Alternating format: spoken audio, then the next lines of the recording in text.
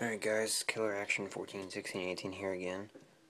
Um, just gonna do a more in-depth review of my Castle 38 3S LiPo Max um, brushless motor from Castle. Um, 100,000 RPM, 3S LiPo Max, 3800 kV. It's their model 1410 Y, 1Y. Um, got the nice snake logo there. And these super super duper long cords that it comes with. You can see the extra cord length you have there. Nice green can, 540 size can with fin ridges on it. Um, four pole motor, it says four more torque. Um, compared to a two pole motor, um, I would definitely say that this does have more torque torque just because for or two more magnet poles in your standard two pole which makes it go around. And you can see it's it's quite hard to turn the rotor.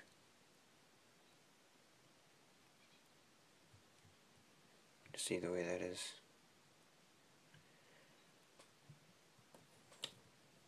So you can get this for the SCT combo Amazon for a 100 bucks. This and this I have soldered on here um, EC5 connectors. So, and this is the uh, ESC that it comes with. Like I said, uh, it has here's your standard connector, um, orange, red, and brown, and then it comes with another red and black connector for your fan. And then here's your switch. Um, overall, from having this ESC, um, I would I would probably give it uh I don't know. Um, I guess we'll start with I'm not gonna rate it. I was going to, but I guess you really can't with an ESC. Um, I've had this for about six months now, and just uh, you can see my unboxing of this specifically and other Castle Creation products. Uh, it's my second combo I've ever purchased for a hundred bucks because it's just such a good deal.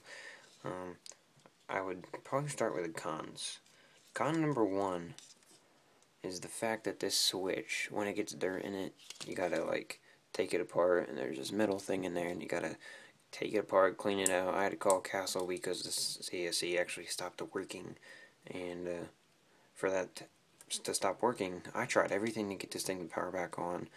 Man, I did everything in my willpower except to not buy any new ESC, so I ended up thinking to myself, man, I'm not going to be able to drive a car because the ESC just broke on me, so I went ahead and bought that Hobbywing SC10 for 45 bucks on Value Hobby. You can see a review on that, and it's in my LCG slash, but yeah. So I ended up fixing this, called Castle, and they helped me out. Great customer service.